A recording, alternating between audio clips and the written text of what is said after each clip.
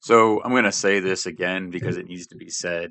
Um, but you are not a real software development engineer if you're not using a code versioning system of some kind. If you don't know how to use Git, if you don't know how to pull a repository, start a new one, push it to master, whatever, like, then you're not a real software development engineer.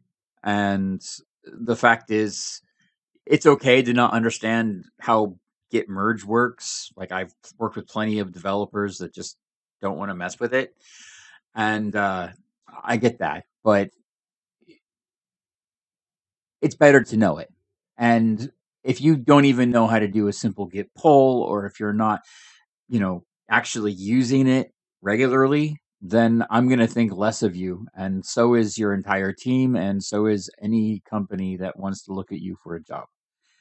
The fact is, you look at my screen here, and I've just been doing nothing but polling because I've been working on another system. So I've been working on the same code base using multiple bits of hardware, checking into Git, pulling it as needed, doing a modification on one system, pushing that to master or main or whatever you want to call it.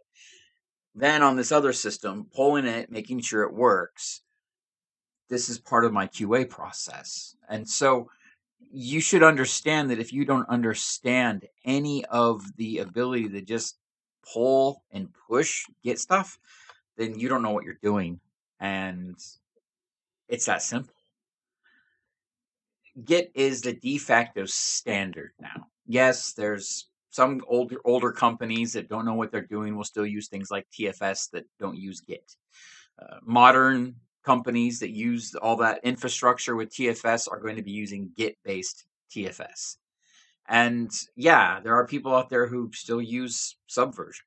And yeah, there are probably going to be people out there who are going to be using Perforce. You're going to be in a situation where you're, instead of looking at a branch, you know, you're going to be looking at a number. And that's better than nothing.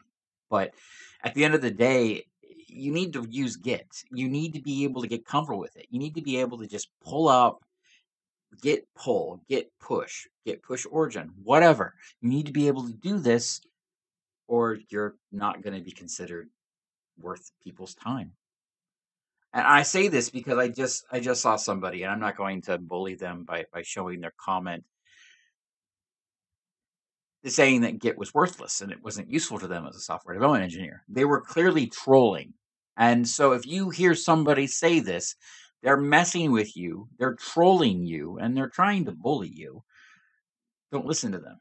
You need to learn Git, and you need to be able to learn the basics of Git. And if you don't know that and you can't do that, then you're not a software development engineer. This is not me gatekeeping. This is not me trying to create some arbitrary standard. This is just if you're competent or not.